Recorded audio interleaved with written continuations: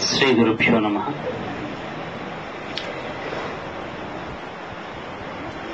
మేకాళ్ళే.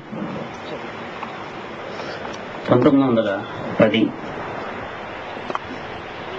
మే ఇరవై ఎనిమిది సాయంత్రం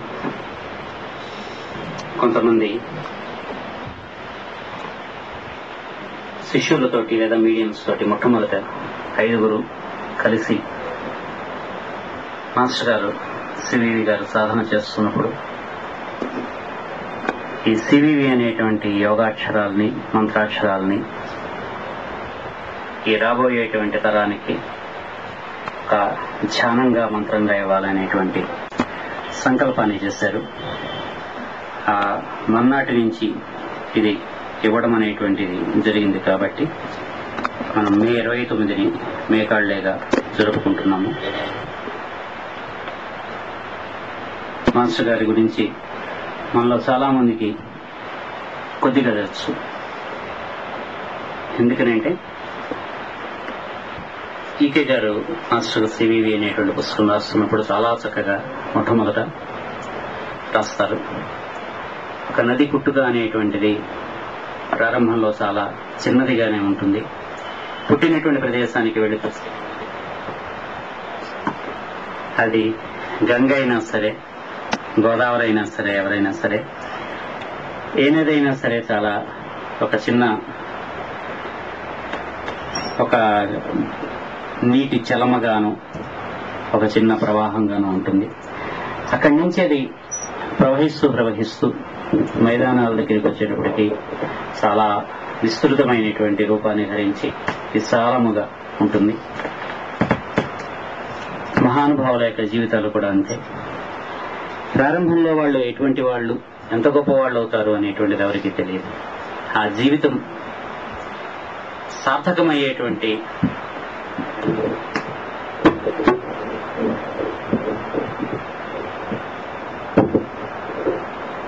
సార్థకమయ్యేటువంటి దశలోకి వచ్చిన తర్వాత అప్పుడు దాని యొక్క పన్నా ఎంత అనేటువంటిది తెలుస్తుంది.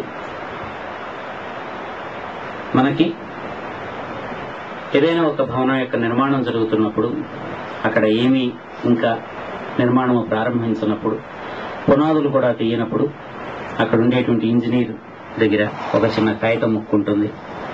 దాని మీద ఆ బ్లూ ప్రింట్లో ఎంత లోతు పునాది తవ్వాలి ఎక్కడెక్కడ ఈ స్తంభాలు రావాలి ఎక్కడ గదులు రావాలి ఇటువంటివన్నీ వారికి తెలిసినటువంటి భాషలో ఉంటాయి.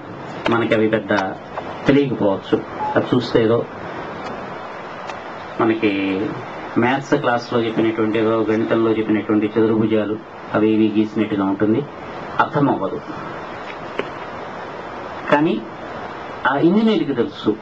ఎక్కడ తవ్వాలి ఎంత లోతు తవ్వాలి ఎలాగ తవ్వాలి ఏ రకంగా. క్రమంగా క్రమక్రమంగా ఆ భవనం నిర్మాణం జరుగుతుండగా జరుగుతుండగా దానికి ఒక ఆకారం వస్తుండగా వస్తుండగా చూసేటువంటి వాళ్ళకి మనకి ఆహా దాని రూపురేఖ విన్యాసం అనేటువంటిది మనకి తెలుస్తుంది. ఆహా ఇలా ఉంటుందన్నమాట ఇది ఇలా ఉంటుంది అని చెట్ట చివరకు వచ్చిన తర్వాత ఆ ఎలివేషన్లు ఇవి అవన్నీ పూర్తయిన తర్వాత మాత్రమే మనకి దాని యొక్క అసలైనటువంటి స్వరూపం మనకి తెలుస్తుంది. అంతవరకు మనము ఆ రోడ్డు నుంచి అటు ఇటు పెడుతున్నా కానీ అలా ఏదో పడుతున్నారు ఏదో స్తంభాలు వేశారు స్లాబ్ వేశారు ఇలాగా ఇటువంటివన్నీ మనకు కనిపిస్తూనే ఉంటాయి. కానీ అది ఏమిటి అనేటువంటిది ఆ లోపలికి ప్రవేశించినప్పుడు మాత్రమే తెలుస్తుంది. మాస్టర్ గారి గురించి కూడా అంతే.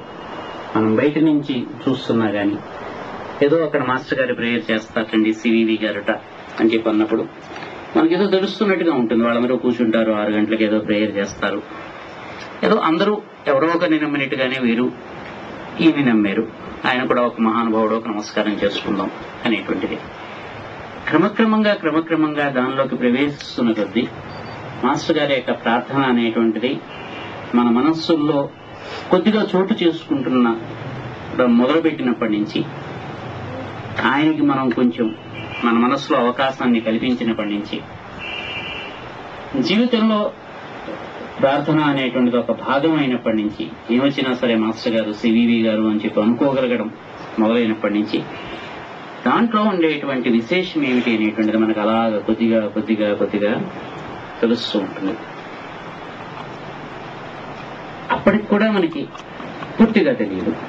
పూర్తిగా మనసంతా ఆయన ఇంకిపోవడము అనేటువంటిది జరగాలంటే చాలా చాలా సాధన జరగాలి మనకి. అయినా సరే ప్రయత్నం మనం చేస్తూ ఉంటాము. ఆయన అలాగా అందులో నిలబడడం కోసం అని చెప్పి ఆయనకి మన మనస్సులో ఆయన ప్రయత్నం ఆయన చేస్తూ ఉంటాడు. మనం అప్పుడప్పుడు మిగిలినవన్నీ సర్దుకునేటప్పుడు ఈయన కొంచెం పక్కకు దోసేస్తూ ఇంట్లోకి కొత్త వస్తువు ఏదైనా వచ్చినప్పుడు కొంచెం పాత వస్తువు అంతకుముందే మనకి ఇష్టమైనటువంటి వస్తువు అయినా సరే కొంచెం దాన్ని పక్కకి జరిపేసి దీనికి కొంచెం చోటిస్తాం. ఇది కొంచెం కొత్తగా ఉంది మెరుస్తుంది బాగుంది అనిపిస్తూ ఉంటుంది కాబట్టి. లేదా కొత్తది ఏదైనా వచ్చినప్పుడు పాత దాన్ని తోసినట్టుగానే అప్పుడప్పుడు మాస్టర్ గారిని కూడా కొంచెం మనం పక్కకి తోసేయడానికి ఒక ప్రయత్నం చేస్తాం. అయితే ఆయన కొంచెం పెద్ద శరీరము కాయము కాబట్టి ఆయన కొంచెం తొందరగా పక్కకు తప్పుకోవడానికి ఇష్టపడరు. మళ్ళీ ఇంకొంచెం ఇలాగ రైల్లో చూడండి సీట్లో ఇంకోళ్ళు ఎవరైనా సర్దుకోండి అన్నప్పుడు కొంచెం అడ్జస్ట్ అవ్వడానికి ఇబ్బంది పడ్డాం అన్నట్టుగా ఆయన పాపం కూర్చుందామని ప్రయత్నం ఆయన చేస్తుంటారు. ఎందుకు ఈ ప్రయత్నం చేయడం? అసలు మన మనస్సులోకి ఆయన రావడం ఎందుకు? మనం ఆయన్ని మన మనసులోకి రప్పించడానికి తలుపులు తెరిచి ఉంచడం అనేటువంటిది ఎందుకు? అంటే ఏ జీవి అయినా సరే ఏ రకంగా జన్మించినా సరే ప్రతి జన్మకి కూడా ఒక గమ్యం అనేటువంటిది ఉంటుంది. ఒక సార్థకత అనేటువంటిది ఉంటుంది. అది మనకి తెలియాలనేటువంటి నియమం ఏమీ లేదు. మన జన్మ ఎందుకో మనకి తెలియదు. ఏదో జన్మించాం జీవిస్తున్నాం.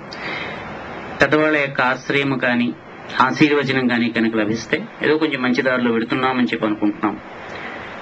లేదు మనం ఎక్కడో దూరంగా ఉండి మన స్నేహితులు వాళ్ళు వాళ్ళు తీసుకెళ్ళేటువంటి ఆ సరదాలు షికారులు వాటిల్లో ఉన్నప్పుడు కొంచెం మార్గం తప్పుతున్నామని చెప్పి మనం అనుకుంటున్నాం. అది నిజం కాకపోవచ్చు ఇది నిజం కాకపోవచ్చును. ఏదైనా సరే జరుగుతోంది జీవితం. ఎందుకు ఎలా జరుగుతోంది? రేపేం జరుగుతుంది?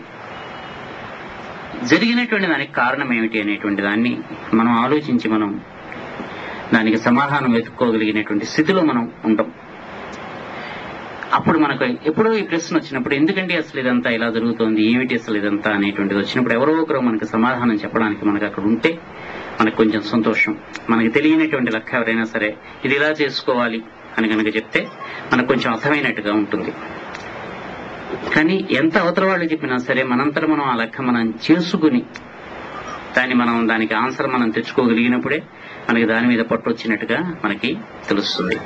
ఏ టీవీలోనో చూపించినప్పుడు లేకపోతే ఎక్కడో ఎవరో చేస్తున్నప్పుడు ఏ కార్లోనో డ్రైవింగ్ ఎవరో చేస్తున్నప్పుడు ఇంతే కదా కారు ఇలాగా ఈ గేర్లు ఇలా మారుస్తున్నారు ఇలా చేస్తున్నారు డ్రైవింగ్ ఎంతలే అనుకుంటాం. వాళ్ళని తీసేసి అక్కడ మన సీట్లో కూర్చోబెడితే డ్రైవర్ సీట్లో అప్పుడు మనకు తెలుస్తుంది కష్టం. కాళ్ళు చేతులకి ఉండేటువంటి సమన్వయం ఆ కోఆర్డినేషన్ ఎలా ఉండాలి ఇటువంటివన్నీ కూడా. ఏదో మనకి టీవీలో చూపించినప్పుడు వంటలు అవి చేస్తున్నప్పుడు ఇవి ఇలా కలపాలి అలా కలపాలి ఇలా చేయాలి. ఇలా చేస్తే సింపుల్గా ఇలా ఉంటే "ఆ, ఇంతే కదా చూసి చేసేయచ్చు అనుకుంటాం. కానీ అది ఎంత కష్టం. తనం మీద మాడకుండా అట్టు పైకి లేపడం అనేటువంటిది ఎంత సాధన చేస్తే వస్తుంది అనేటువంటిది చేసిన వాడికి తెలుస్తుంది. ప్రయత్నం చేసి అనేటువంటిది. చెయ్యి కాల్చుకోకుండా వంట చేయగలగడం కష్టం. వంట చేయడం అంత అనిపిస్తుంది. కానీ ఎంత కష్టం అనేటువంటిది చేసినప్పుడు తెలుస్తుంది. అప్పుడు మనకి అవతల వాళ్ళు చెప్పినప్పుడు ఇది ఎలా చేయాలి అన్నప్పుడు మనకు తెలియదు మనకి చేసినప్పుడు మాత్రమే మనకి దాంట్లో ఉండేటువంటి కష్టము నష్టము తెలుస్తాయి కాబట్టి అది మనకి తెలిస్తేనే మనం ఇంకొకటి చెప్పగలుగుతాం. ప్రతిసారి వాళ్ళే ఉండి చెప్పలేరు కాబట్టి ఒక్కొక్కసారి మన యొక్క అవసరం కూడా ఉంటుంది కాబట్టి మనని కూడా మనకు కూడా ట్రైనింగ్ ఇచ్చి మనని కూడా వాళ్ళలా చేద్దాం అనేటువంటి ప్రయత్నం వాళ్ళు చేస్తూ ఉంటారు. ఎందుకు ఇదంతా? అంటే ఎక్కడి నుంచి మనం వచ్చాము ఎక్కడ గెడుతున్నాము అనేటువంటి ప్రశ్నకి ఎప్పుడో అప్పుడు మనం సమాధానం తెలుసుకోవాల్సినటువంటి అవసరం మనకు ఉంది కాబట్టి. అది ప్రకృతిలో ఉండేటువంటి ఒక సహజమైనటువంటి అవసరం కాబట్టి. చాలా జన్మల్లో చాలా జీవులుగా మనం జన్మించినప్పుడు జంతువులుగా జన్మించినప్పుడు క్రిమి కీటకాలుగా జన్మించినప్పుడు ఇటువంటి ప్రశ్నలు ఉదయించవు మనకి. వాటికి సమాధానాలు కూడా మనం వెతుక్కోం. కానీ మానవ జన్మ ఎత్తిన తర్వాత ఎప్పుడో అప్పుడు ఏదో ఒక జన్మలో మనకి ఈ ప్రశ్న అనేటువంటిది మనకు కలుగుతుంది. అప్పటి నుంచి మనకి ఏదో ఒక సాధన అనేటువంటి దాంట్లోకి వెళ్ళవలసినటువంటి అవసరం